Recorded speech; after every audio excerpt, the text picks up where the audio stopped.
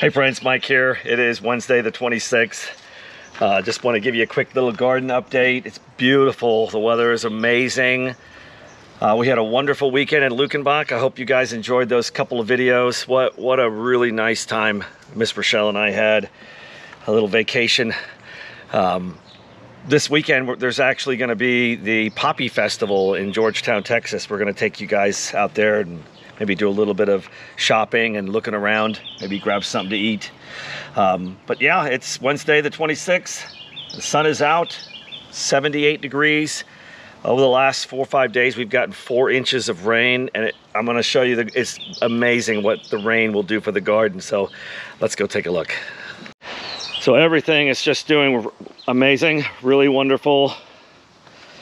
Uh, the garlic is doing that crazy thing where it gets all these little shoots. This is the hardneck garlic. It's pr producing more bulbs is what it's doing. But we've got some radishes down here. They're starting to, to bulb. You can see a couple of those. The tomatoes are really doing great. I've had to come out here at least every day to pull suckers. But they're doing good. I don't string mine up, guys. I just leave them in the cage, and I do pull the suckers. Um, and I have actually been pulling some of the blooms. I don't want them to produce just yet until they get about four feet. For example, right here, you'll see there's a bloom.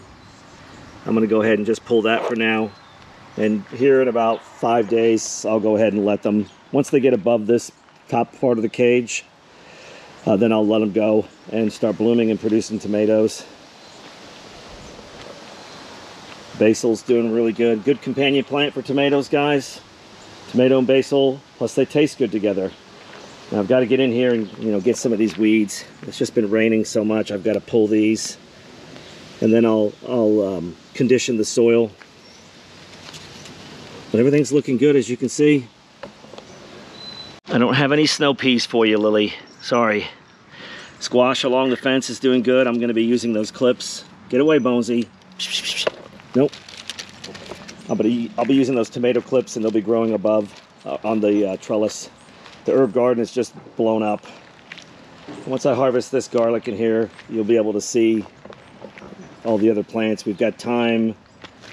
We have parsley, the dill. I'm going to be harvesting this this afternoon and then hanging it in the mud room to dry. Oregano, chives, rosemary, the arugula is doing really well. We have two types of arugula. We have the broadleaf, and then we have the rocket. They'll just, they'll grow together and mix. For those of you folks that are in North Texas or Northeast Texas, please be careful. I've been watching the weather. It's pretty bad. A lot of red cells. Um, we follow a couple channels, uh, North Texas, uh, Jill and Greg. please be careful. Weather's gonna be bad. It's gonna be here tonight around 8 to 9 p.m. So we're gonna be probably sitting out watching, just kind of listening. Uh, we don't want any tornadoes. We don't want any hail to damage everything that we've got growing here. So we'll just pray and cross fingers and just hope that God protects everybody. But we'll take the rain, not like last year. So our peppers are doing really well in the ground. Uh, in between, we've planted some beets. I've had to replant some of the seeds. We've got all different kinds of peppers, jalapenos, uh, here's some, some more red and orange beets. Uh, tomatillos are doing really good. They're, they're budding. I let them bud. I'm not going to mess with them, but they're going to have a whole bunch of tomatillos. We'll make some salsa verde and we'll can that. Elephant garlic, I'm really happy with this. I can't wait to harvest this and see how big they are. Cilantro is going to seed, folks. So it's going to turn into coriander. I'm kind of getting low on my coriander, so I want to go ahead and let it go to seed, and then I'll show you guys how I harvest those. Um, there's a, a paper bag method that takes about two days to where you basically will pinch the plant. Oh, there's a ladybug. Good luck. And then you'll put a paper bag over and you kind of turn it on the side, and then the coriander seeds will fall down in there. Uh, we planted some more carrots. Uh, this is a collard green, I, I just need to harvest that. It's kind of going to seed. The onions, very happy with our onions. We just planted here some seed a couple days ago. We're going to be doing purple and green baby bok choy. The bell peppers are doing really well. I planted some lettuce in between here. The five gallon grow tables are doing good, guys. They're a little bit slow. Uh, these are different varieties of peppers. Those are scotch bonnets. These are the Italian long red peppers, doing good. You know, as soon as the weather gets a little warmer, guys, they'll start to shoot up. I was a little worried about our okra, but it is finally doing better. Temperatures as they go up, look at all that new growth on there. Uh, these onions, these are a different variety than the Texas Legends. They're not as big. And guys, I have been actually harvesting some of these. So anytime the onions fold over, they're, they're done. They're not going to produce. We're going to go ahead and harvest it. And then I'm going to put it in our curing rack. In fact, I'll take you over there right now and show you what we're doing. And there's our mystery plant. I'm going to give you guys a close look. So we're just going to put it up here in our curing rack. I just put plastic up now to keep the rain off until I can get some something permanent, plexiglass. But this will all be covered with um, onions and garlic, just like we did last year. You can go look at our other videos on onion and garlic. All right, guys, our compost mystery plant. Uh, let's take a look. Okay, looks like we've got something on here. I don't know, I think it might be pumpkin. We will see. But it's amazing how it's just growing out of the compost.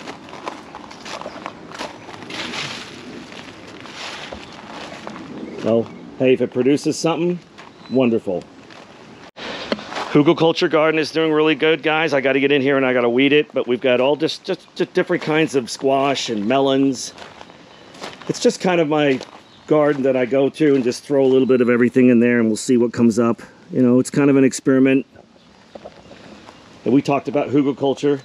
You dig a trench, you put logs, you put wood, put uh, tree limbs, leaves, then you put your soil, and it acts like a sponge in the hot weather, and it keeps the plants alive, keeps everything moist. But I'll come in and I'll weed. We had a lot of wind, a lot of branches down. Our grow tables for our sweet potatoes here, and then our fingerling potatoes are doing amazing. Of course, you know, the sweet potatoes will do much better in the hotter weather. We've got new growth, as you can see right there. This will climb all over the fence. I need to extend this, uh, this railing. Just haven't had time. These potatoes are just going to town. They're wonderful. The uh, we've started growing um, on the grow tables a couple of years ago because guys I planted potatoes in the ground so many times and the fire ants just, they always go for it. Anytime there's water, you're in a hot climate, the fire ants are gonna go towards the water. Where's the water? Where the potatoes are. So this method keeps it off the ground. If I have to mix some orange oil with water um, and then pour it around the legs, that will keep the, the ants um, away from the soil, which is moist. Uh, weather is going to be getting warmer. Fire ants are going to go where the water is. I can't plant in the ground. This method, uh, it, it's going to work really good. Let's take a look at our onions. Guys, our onions are amazing. These are the Texas Legends. We didn't really plant as much as we did last year. Last year, gosh, we had a whole row. We had like 300 onions. Um, this is enough. But look how big those are. Let me show you the size of my hand. Look at that, it's a softball size. And remember guys, the secret to onions, when they start to get big, you wanna ring them in. You wanna move that soil, loosen it up, let that bulb. But these are all doing really well.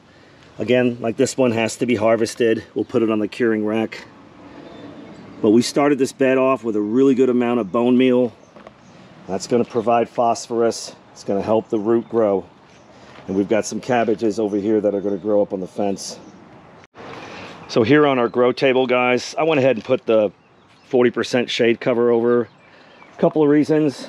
I didn't want these delicate lettuce plants to get hit uh, with the heavy rain. And now that the sun is out, I just wanted to start to acclimate to the hot weather. But look at these microgreens. They're, they're turning into actual lettuce. We're going to have to harvest some of these and have a salad. But we've got baby bok choy, we've got our parsley, but all these containers are starting to fill up with beautiful lettuce and spinach. And I, I replanted in some of these pots too. Sometimes you have to do that. But we've got a we've got a versatile little salad bar out here. Our bunching onions are actually growing bulbs, but that's all right. So if, if you don't have much space, guys, you can grow in pots. We've got our horseradish. We've got a five gallon over there. This is our um, um, sugar cane. We're just waiting to build a permanent bed uh, before we plant that. Guys, I got to tell you what, I'm very happy. Lots of prayers. We've got good weather this year. I know that some of the weather channels are saying the predictions that it's going to be another hot year. I, I don't think so. I, am hoping not. Uh, we, we don't want a repeat of last year. That was just terrible. 67, whoop, the B, 67 days, no rain, and 100 to 109 degrees. Mm-mm, we don't want that. So we'll uh, we'll just pray and we'll see uh, what happens, and we'll just we'll we'll be prepared. But those of you up north, Texas and Northeast, please be careful. I'm watching the radar, and it's it's looking kind of ominous. Let's take a look at some of the flowers. Well, as you can see, Miss Rochelle's poppies have taken over. um, they're they're gonna go to seed. These pods right here will turn brown, and then when you shake them, you'll hear the seeds. That's when we're gonna clip these off. We pull the plants out. We'll compost that, and then this will clear up this this pretty little desert garden. And we got to get in here and do some weeding as well too. So guys, all around the pool in our sitting areas and pots, we have geraniums. They're also called citronella plants. Uh, these are really good at keeping the bugs away. They have that, that, that lemony smell. But Miss Rochelle has these pots all around the pool, sitting areas over here, up by the patio as well too. And they really keep the, um, the bugs away. And they're beautiful too. When they start to bloom, geraniums or citronella plant. Well, the morning glories are doing amazing. Uh, we did a video on building this little garden bed. We actually had an old metal uh, bed frame. It's concreted into the ground.